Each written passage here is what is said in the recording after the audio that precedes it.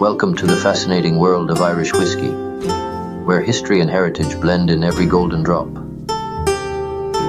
Irish whiskey has a rich and storied past, dating back centuries. Its journey is one of resilience, revival, and remarkable craftsmanship. Irish whiskey has a unique character shaped by our history and traditions. The story begins with Irish monks in the early Middle Ages, who are credited with introducing the art of distillation to Ireland.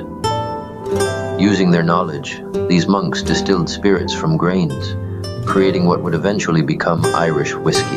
By the 17th century, Irish whiskey was thriving, with distilleries dotting the landscape and exporting their spirits across Europe. Irish whiskey became renowned for its smoothness and quality, gaining popularity among nobility and commoners alike. However, the 20th century brought challenges. Prohibition in the United States and political upheaval in Ireland led to a decline in Irish whiskey's global presence.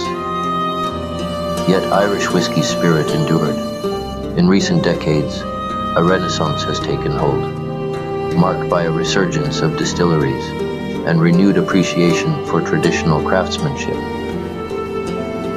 Today, Irish whiskey stands as a symbol of resilience, blending age-old techniques with innovation to create a diverse range of expressions.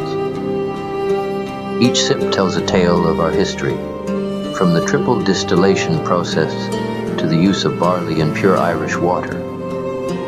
So, raise a glass and toast to the captivating history of Irish whiskey, a drink that embodies the spirit of Ireland in every smooth, flavorful note. Discover more about Irish whiskey and explore its legacy at these iconic distilleries.